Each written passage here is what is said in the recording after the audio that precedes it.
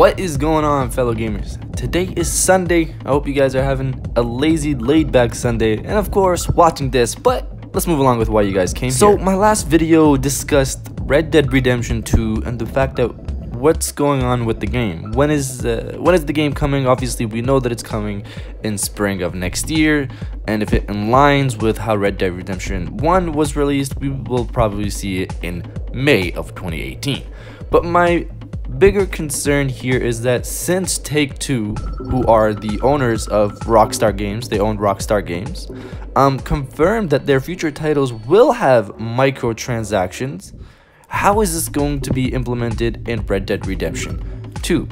For me, if it's in multiplayer, I won't care as much, but still, I would not like Red Dead Redemption 2 to have microtransactions because it's a horrible practice, like I've previously said. It's a way of how these investors discuss consumers of video games is is is, is quite like almost as if we're animals and they're trying to get more fat out of us if that makes any sense or more meat you know more more out of us in the sense of money. I know how that sounds but that's basically how they see us how they visualize us is that how are we going to get more money out of these consumers? And recent events basically show this in that a big industry companies Uh, in the gaming industry focus on money. Take Two is a big one of them. Rockstar Game is a big one of them.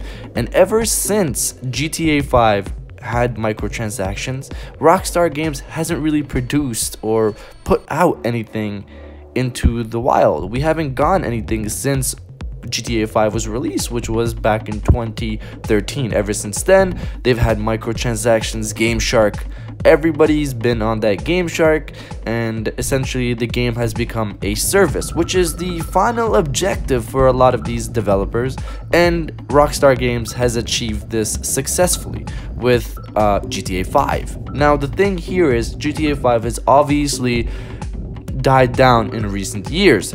So my theory here is that they're putting Red Dead Redemption 2 out now because they want to get a boost back up in uh, revenue from microtransactions. If that's the case, then I worry for Red Dead Redemption 2 what are we going to get in the game? Are we gonna actually have microtransactions in the multiplayer or is it gonna affect the single player? If it's like GTA 5, um, I have not played GTA 5 in a while, but I'm pretty sure that it does not affect the single player. If that's the case, then it I still won't like it, but it won't hurt me as much because I come to Red Dead Redemption 2. Same thing with Grand Theft Auto for the campaign. I expect a solid campaign from Red Dead Redemption 2 and I, I'm pretty sure I won't be disappointed from Rockstar Games in that aspect. But the thing about it is the multiplayer, if I ever were to give it a chance and it had microtransactions, I don't know if I would. I don't know if I would put my time into it just because I would think that the microtransactions had a play in progression, and that only comes into play if the microtransactions actually produced something in terms of gameplay.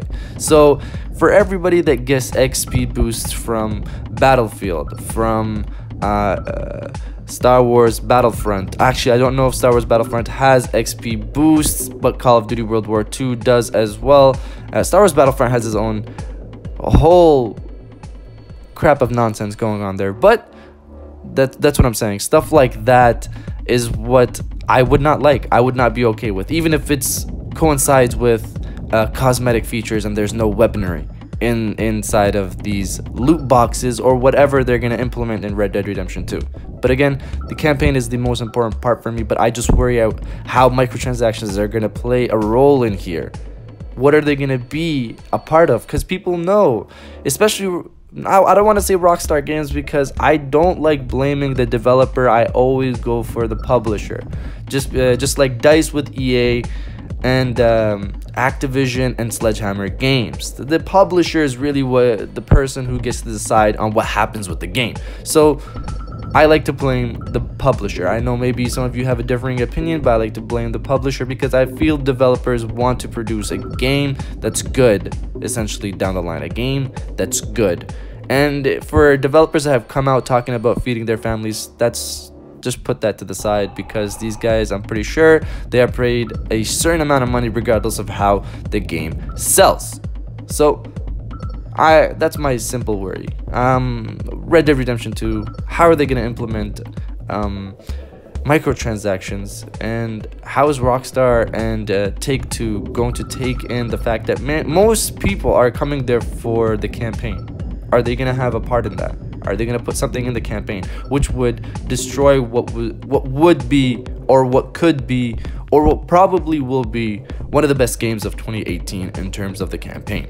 The multiplayer, I'm pretty sure they're kind of trying to produce something in terms of Grand Theft Auto 5, and uh, that's that's simply it. I I had another video uh, to produce for today, but uh, this one just came to mind, and uh, Red Dead Redemption is one of uh, one of my favorite games from last generation, and I hope Red Dead Redemption 2 is treated properly and not engulfed in microtransactions, which I don't expect it to be, but I just worry at how well it's gonna be implemented, just because of how interested Take Two is in how much money microtransactions make for them. So that's essentially the story for today, guys. Let me know what you guys think.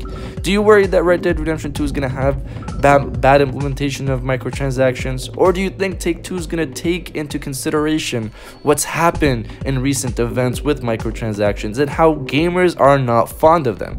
And they don't want to destroy the image of Red Dead Redemption 2 with that. So let's see spring 2018 is not that far. Actually, it's a bit far, uh, five, six months, depending on what month of spring it comes out.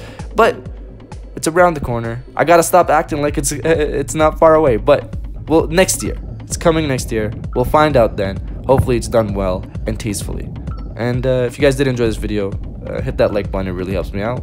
And subscribe to the page if you guys haven't done so. I'll check you out on the next one.